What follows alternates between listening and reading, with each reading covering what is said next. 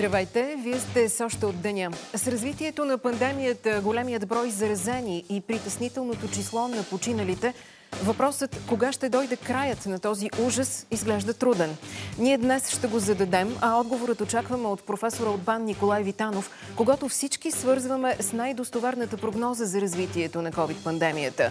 Преди този разговор ви предлагаме друг, не по-малко важен, за региона, в който живеем и за самочувствието ни като държава с позиция в полето на международната политика.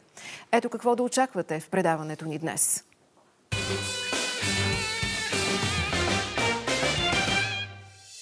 Каква трябва да бъде българската позиция за преговорите на Северна Македония с Европейския съюз? Коментар на Кристиян Вигенин от БСП. И още, кога ще приключи пикът на втората вълна и какви са следващите етапи на пандемията? Анализ на математика професор Николай Витанов. От новините разбрахте, България представи в Брюксел решението си за блокиране началото на преговорите с Република Северна Македония. Какво казва с това София на Скопие? Как се чете този знак на страна членка на Европейския съюз?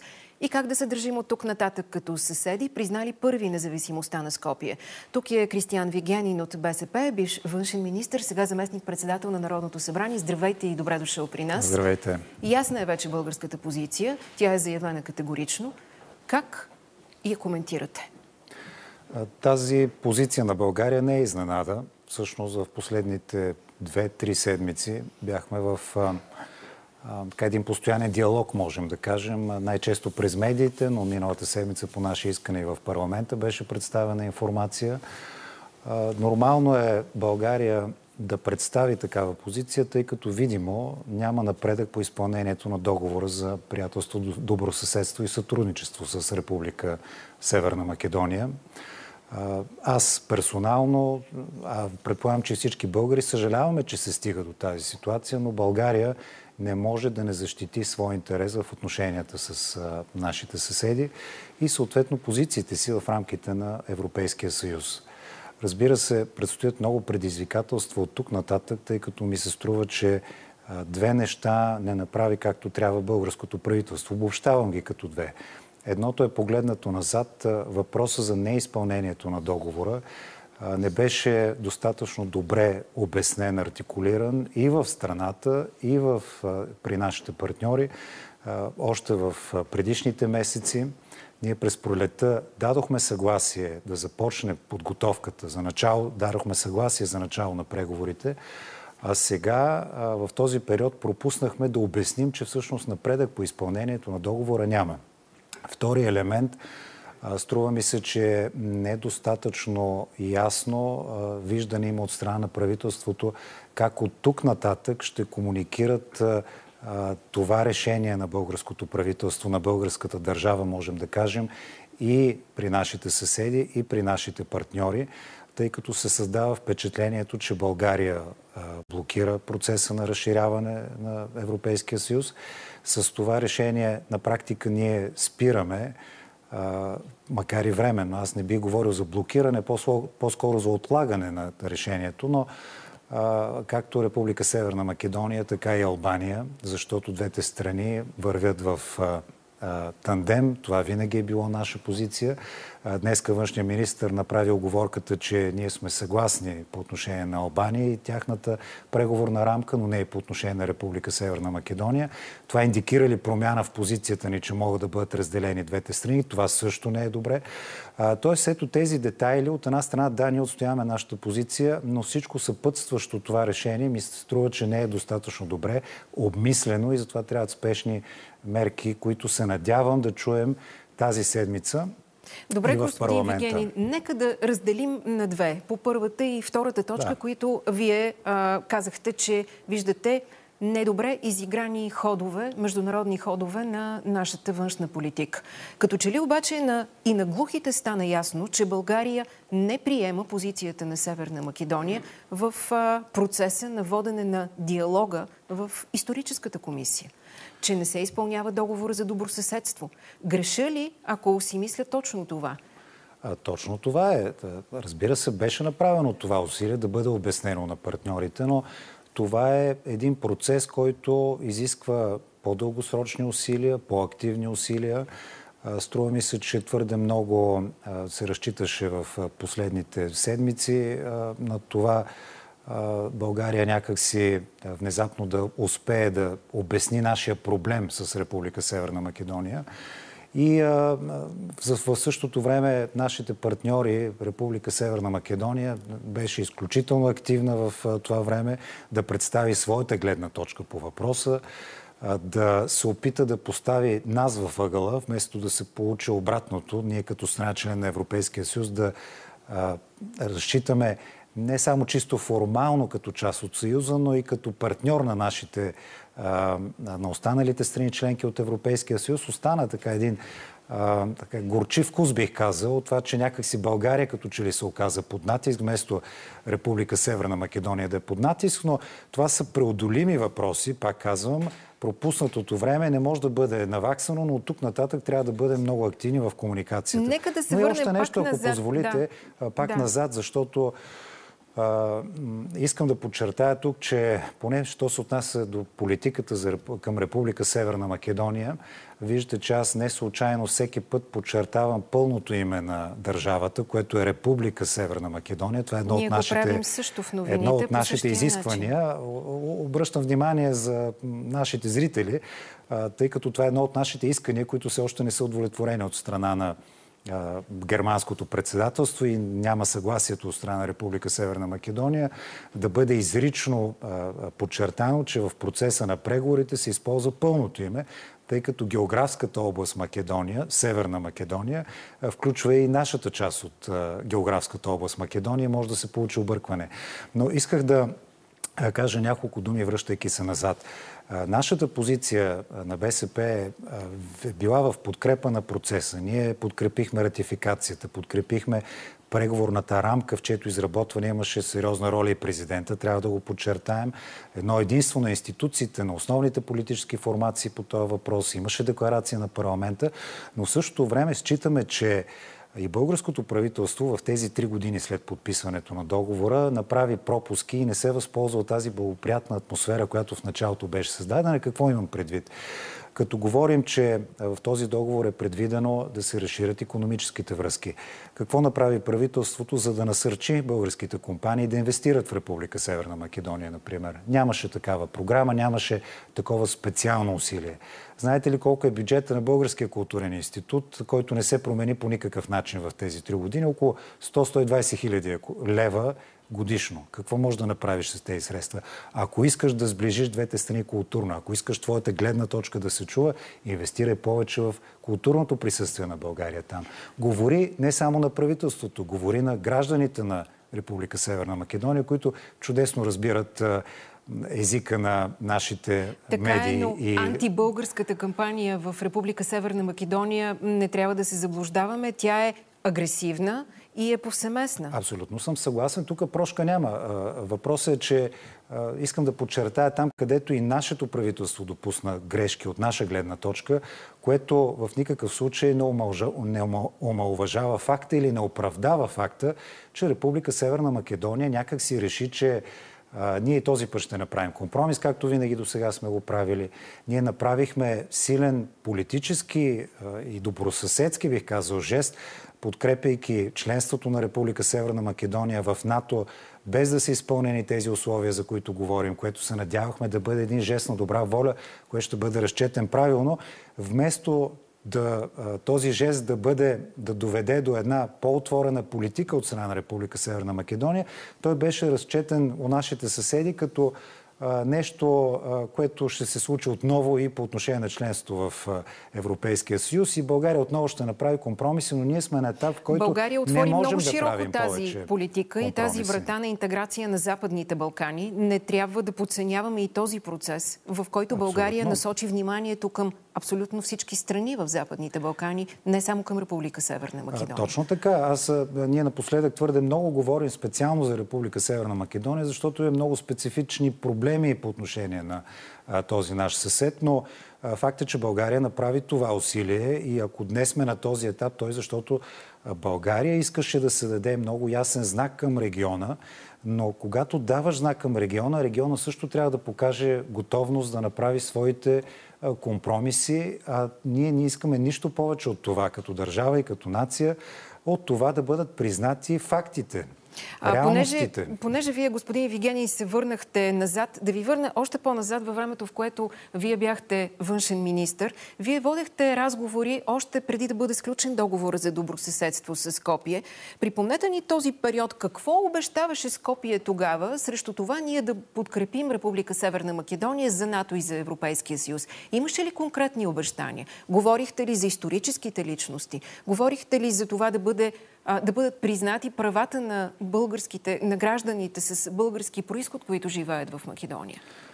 Тогава беше един по-различен етап в развитието на нашите отношения на едно друго равнище, което беше значително променено през 2017 година. И то беше променено, защото в Скопие дойде на власт едно друго правителство, друга политическа сила, която подходи съвсем различно, много по-открито и отворено към междусъседските проблеми с Гърция, с България и постави европейската и евроатлантическата интеграция на абсолютно нова основа. В този смисъл моите разговори бяха с едно друго правителство, което не беше готово сериозно да тръгне по пътя на европейската интеграция. Да, водени са разговори, но те бяха по-скоро разговори на, на Езика за добра на омразата съществуваше тук, и тогава. Обсъждахте само да кажа, ли? докато тук да. вече имаме договор, взаимни ангажименти, когато подпишеш и ратифицираш такъв договор, се очаква да, да го изпълняваш. Трябваше да ли историческата комисия Но... да има срок, в който да свърши а, своята работа? Смятате ли, че тя трябваше да бъде а, рамкирана, за да може да не се прескача сега този момент, в който тя не е свършила работа и съответно България е категорична в своето решение? На мен ми се струва, че ние трябва да направим една преоценка на ролята на тази комисия, тъй като ми се струва, че политиците, премиерите, правителствата на двете страни прехвърлиха политически проблеми, които да бъдат решавани от историци в тази комисия.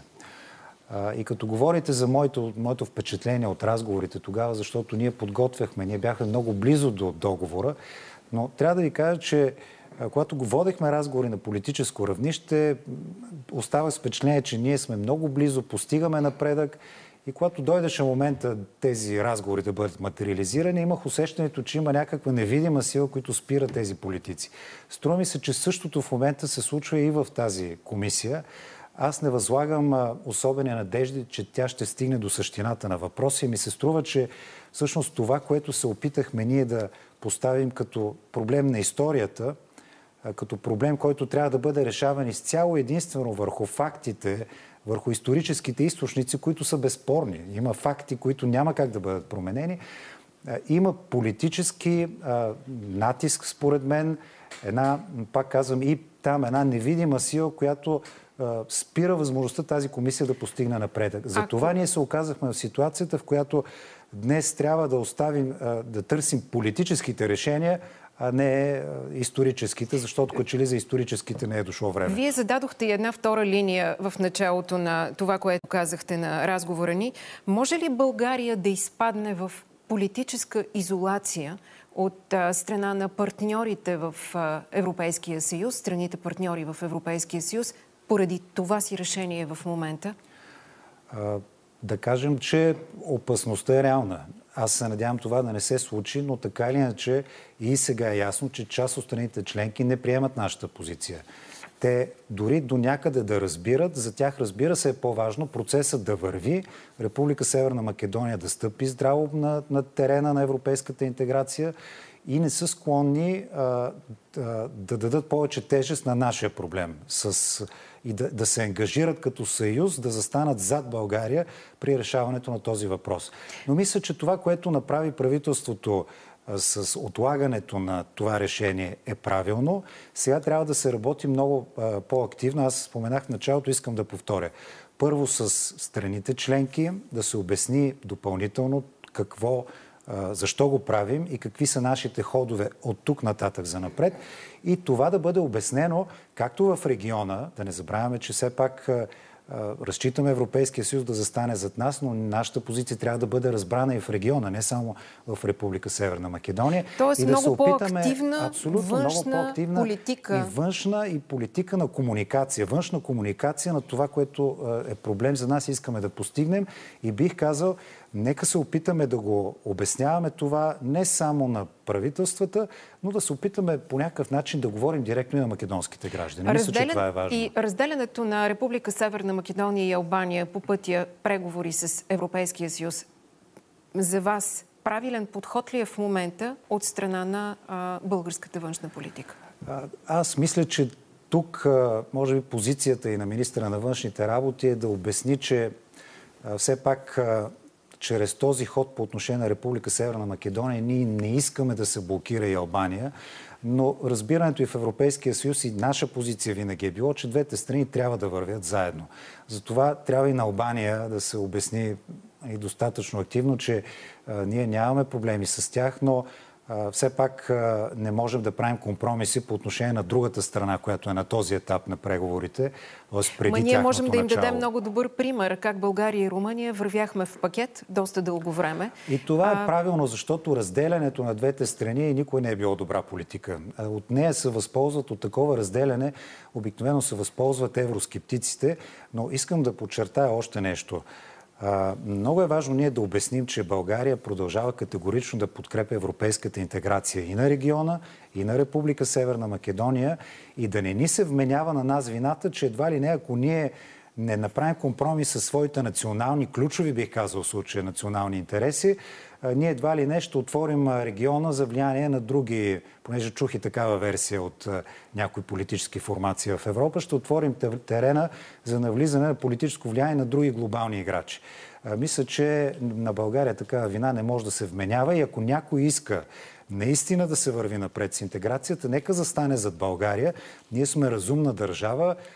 При такъв консенсус би трябвало да им говори това, че тук не е въпрос на политическо заиграване, а тук е въпрос на, на съществени интереси на страната и нека бъдат добри партньори и на България, за да постигнем компромисните решения. Те не са сложни. И аз не разбирам защо не можем да стигнем до тях. Господин Вигенин, благодаря ви за този разговор в ефира на още от деня. Само да кажа на зрителите ни, че Темата за Македония ще бъде дискусия и в предаването референдум, което започва в 21 часа тази вечер, а ние продължаваме след секунди в нашото предаване.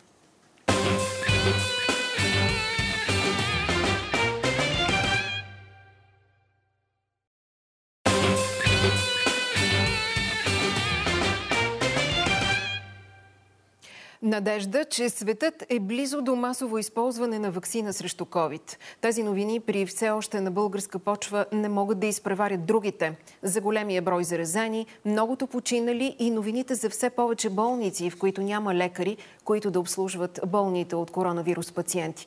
Какви са прогнозите? Оптимистични или песимистични? Тук е професор Николай Витанов, математик от БАН и член на Националния кризисен щаб Здравейте и добре дошъл в нашото предаване. Здравейте. В момента цифрите на заболелите и на починалите са стръмна скала нагоре. До кога, професор Витанов? Е, те не са нагоре, вече се стабилизираха. Стигнахме ли но, платото? Но нека да... От нас зависи.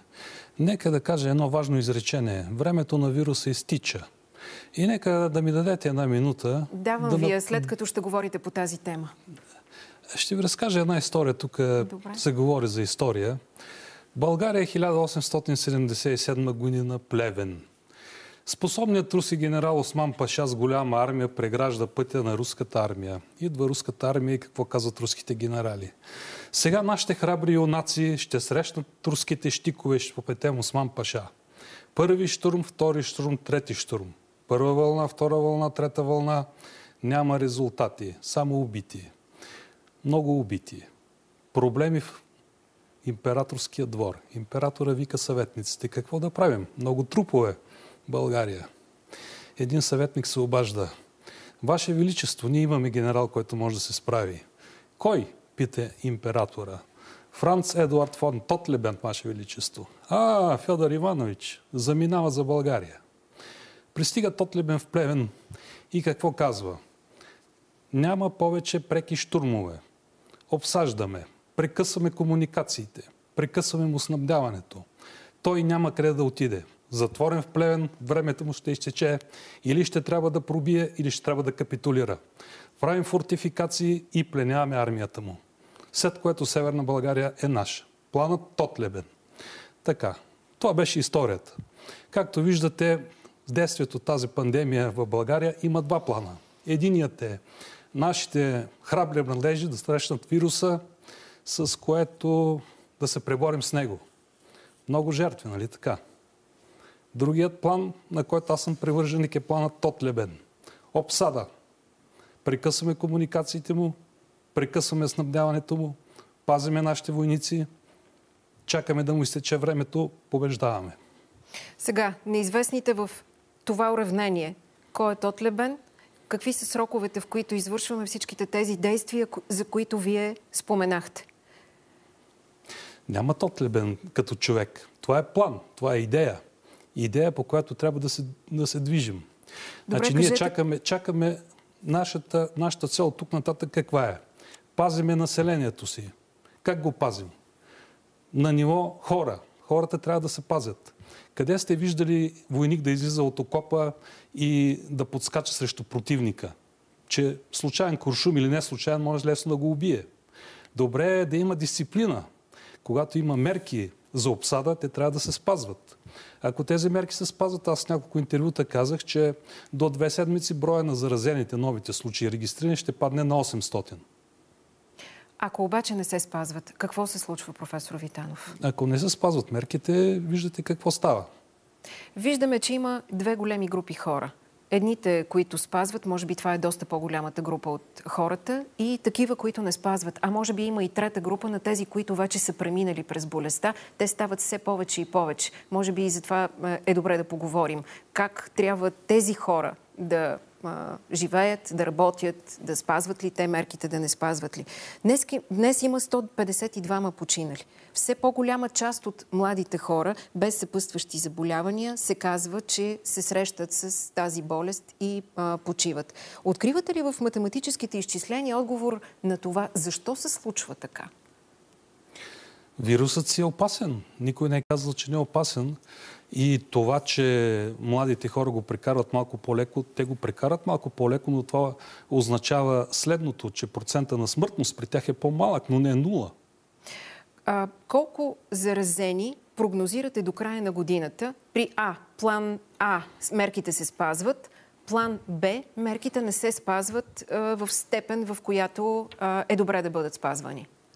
Сега аз числа няма да кажа, но мога да ви кажа тенденции. В момента сме на около 3500, нали така, на ден.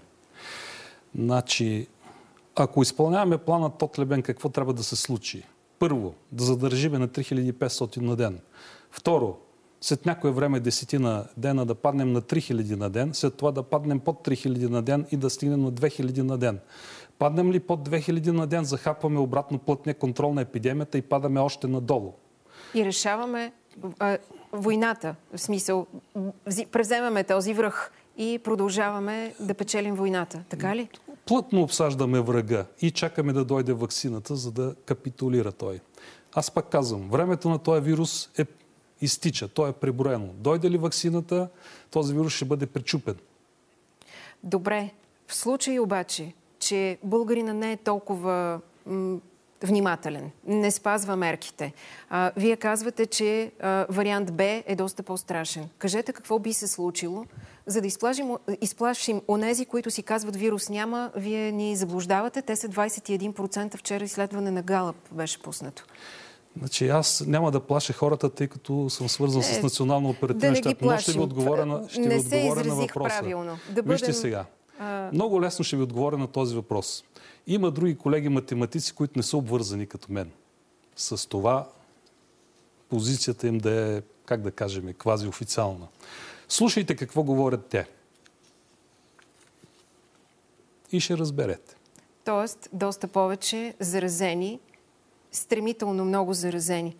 Знаете ли, а, спомням си, че в едно наше предаване вие обърнахте внимание на а, региона на Врац и област Врац, където вируса или Видин беше, Видин, където вируса отиде последен и този регион и тази област последна се отсвети в червено. Можете ли сега да ни кажете, защо тази област последна се отсвети в червено? Вие казахте, че нещо много значимо се случва там, но няма да обърнете внимание на него. Защо Видин се отсвети последен в червено и коя е областта, която първа може да се върне отново в оранжево? Сега вие ми говорите за цветовете, които професор Кунчев показа, доцент Кунчев показва. Да, да, и вие Сега, ми обърнахте видим, внимание тогава. разпространението на епидемията е такова, че то е толкова по-бързо, колкото са по-големи контактите между хората. Когато имате област, където имате не много плътно населена област с хора, които са относително възрастни и се пазят, там, разбира се, епидемията се разпространява по-бавно, но а, отива и там. Ето защо Виден се отсвети и той в червено, но се отсвети последен. Сега, кой от тези, които е, в момента в червено първи би могъл да се отсвети, Ами ще видим сега нашите изчисления, но сега, ако кажа областта, аз знам коя е, но ако я кажа хората там могат да се отпуснат. И да Кажете кажат, поне в, ко- в коя част на България се намира? Южна България. Много а... на юг. Това означава ли, че хората там са много дисциплинирани или това означава, че вирусът там е преминал вече и е минала тази първа, втора и трета вълна, за която вие говорихте във войната? Значи, по-скоро това означава, че броя на регистрираните случаи там намалява. Това означава. Е, нямам... Сега, хората, които живеят там, е, не са били много недисциплинирани. По-скоро проблемите при тях се привнасяха отвън. Може би намаляването там е, защото все още няма максимно принасяне на проблеми отвън, но то ще се появи покрай нова година. Хората ще започнат да пътуват по коледа и по нова година. Какъв е вашия съвет? Да се ограничи пътуването, да се затворят някои региони или да оставим всичко на а, съзнателността на хората да спазват дистанция и да се пазят? Сега, първо искам да кажа, че аз не съм от хората, които взимат решение какви мерки ще се налагат. Аз мога да направя само изчисление и да дам тук там някой съвет други хора е, изчисляват, налагат мерките. Но какво, какво бих могъл да кажа? Сега, аз никога не съм разчитал само на съзнателността на хората. Вие знаете прочути израз. Соклот се с облаго и с нещо друго. А, в а, Испания и Белгия в последните няколко дни регистрират спад в заразените ако цифрите са верни, които срещаме в агенциите, как се развива заразата в Европа? Виждате ли някъде, откъдето може да започне тази зелена вълна на пресичане на заразата? Все още не. Но мерките вече дават резултат там, където са наложени. Кога последните мерки, които бяха наложени тук в България, ще дадат резултат, професор Витанов? И трябва да се изчака поне две седмици. До тогава, виждате ли нарастване на всичките тези цифри, които съобщаваме всеки ден? Що се отнася на количеството на заразени на ден, е, в момента сме в едно такова квази стационарно състояние, около 3500. Добре е да го държим. Кажете една дата, от която вие смятате, че ако всички марки се спазват, заразата ще тръгне надолу ще тръгне надолу, какво значи? Ще паднем от текущото... Ще паднем, ще, ще паднем, паднем от текущото... Две седмици от тук нататък, ако хората плътно спазват мерките, ама всички, ще паднем на 800 случая на ден. Добре, благодаря ви за разговора в студиото на още от деня. Професор Николай Витанов за математическия модел на COVID-епидемията, който пряко се влияе, както разбрахте, от поведението на всеки един от нас. Така завършваме. За да провокирате себе си и бързината на мисълта ви, останете с последния печели и Орлин Горанов. Довиждане.